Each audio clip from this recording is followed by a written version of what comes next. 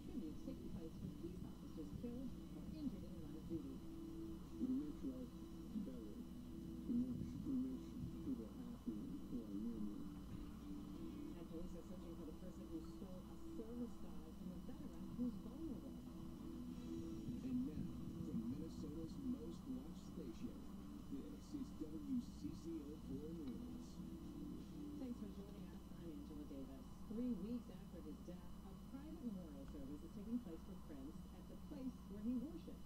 It's at the Kingdom Hall of Jehovah's Witnesses in Minnetonka. Since Prince was found dead at his home at Paisley Park on April 21st, we've seen thousands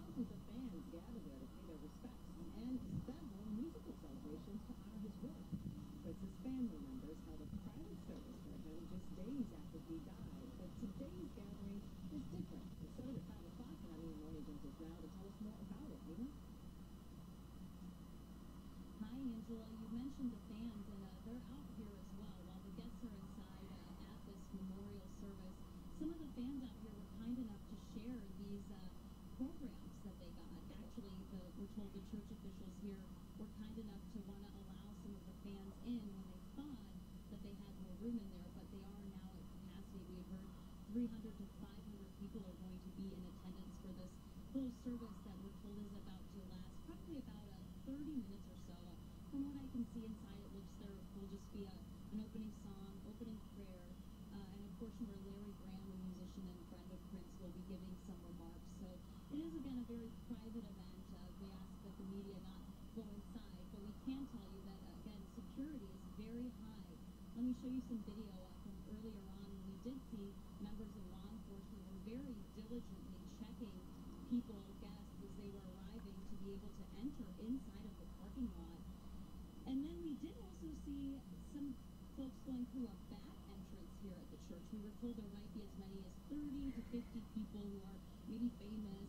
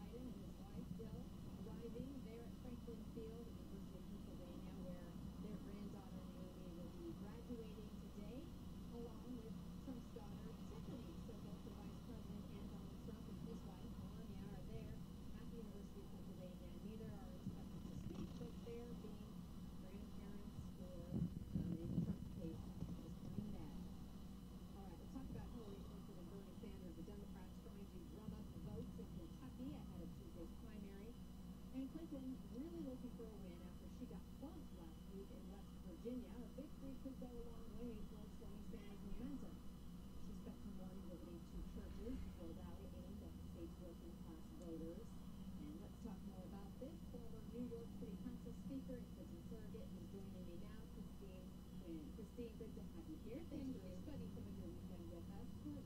Do you worry that West Virginia could be a precursor, what's going to happen in Kentucky? Not all. I think this race is over. Secretary Clinton has gotten the vast, vast majority of delegates. It is mathematically impossible for Senator Sanders to win. So did he win the headlines last week? Sure. Is he going to win this race? Can he win this race? Absolutely not. Secretary Clinton is going to be the Democratic nominee. I think everyone knows that. Now, look, for Sanders supporters and Senator Sanders, if they feel it's important to run in more primaries to kind of finish things out, if you will, and that's how uh, Sanders supporters want to express their vision, I think that's fine. But I have no doubt that when this is done, and it's not just my opinion, the math shows it, that Secretary Clinton will be the nominee and we will have a united party moving forward. Secretary Clinton spending a lot of time in Kentucky. She And she should. it as a- an important state for winning, especially the optics. And how bad are the optics if she doesn't? she has to be in every state where there is a primary. Even though she has, uh, as I said, and let's be clear, she has three times more than President Obama had at the same time when she dropped out of the race eight years ago. Three times more. But for her not to go and kind of sit back and put her feet up would be incredibly disrespectful to the Democratic voters who haven't yet voted just because that's where their state ends up on the primary. And she's not going to do that. She's not going to do that, one, because it's not right. Two, because it's not disrespectful. It's because it's disrespectful. And three, because